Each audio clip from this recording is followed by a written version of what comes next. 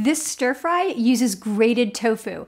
Grated tofu absorbs the sauce so much better than cubes of tofu because you're cutting it into smaller pieces.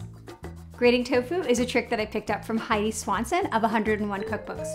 It gives it a really nice fluffy texture and the whole thing cooks so quickly. Take a block of firm tofu, take a box grater, and introduce the two. By the way, don't worry if some of it kind of crumbles off. That's perfectly fine. Make the tofu smaller, basically.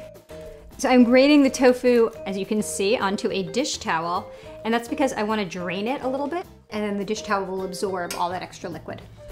The sauce for this stir fry is very classic. It has soy sauce, sesame oil, dry sherry. I'm gonna add a little bit of lime juice for tang. You could also use rice wine vinegar, but I like the freshness that lime has.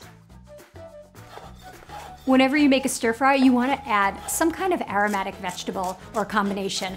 I love to use scallions and garlic, and lemongrass is also great because it just adds a citrusy perfume. So I have everything prepped and ready to go, which is essential because as soon as I walk over and turn on the heat, there is no looking back. A lot of stir fry recipes have you brown the tofu and get it very golden. In this recipe, I'm browning the shiitakes and the tofu doesn't need to brown at all. You don't want to move the mushrooms around too much. You want to let them get really, really brown. I mean, toss them a little, but also let them hang out. I also have some red chili here.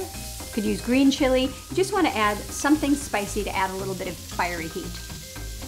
The edamame in this dish adds both texture, you have a little bit of crunch, and it also adds a beautiful green color.